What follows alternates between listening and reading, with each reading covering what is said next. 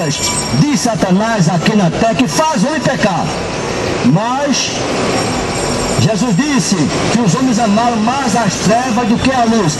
Isso é realidade. E quantos têm amado mais as trevas do que a luz? Nós pegamos aqui a luz, a salvação, a vida eterna.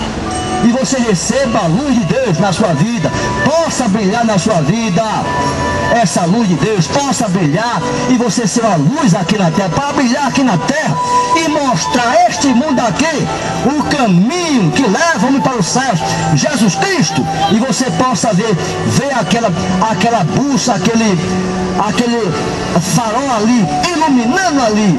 E quando você olhar para aquela vida que resplandece, a glória de Deus aqui na terra, o céu de Deus, é uma serva de Deus aqui na terra, mas tem ali a luz de Deus brilhando na sua vida. E você pode olhar ali e ver a direção. Aquele irmão, aquela irmã está no caminho que leva para os céus. Eu também quero andar nesse caminho. Eu quero aceitar, eu estou vendo a luz de Deus brilhar na vida daquele irmão, na vida daquela irmã. Eu estou vendo a luz de Deus brilhar, esplandecer a glória de Deus. Eu também nesse caminho. Eu também quero andar nesse caminho, queridos.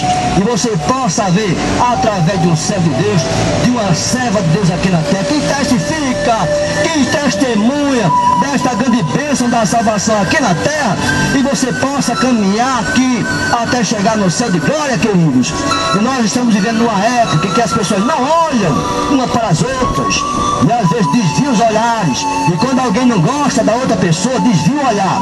Não quer nem olhar de frente. E desvia o olhar, nós temos que olhar nos olhos. Olhar nos olhos. Porque nós não podemos desviar nosso olhar, não. Não, queridos. Nós temos que olhar diretamente nos olhos para dizer que nós não nos envergonhamos. Nós não nos envergonhamos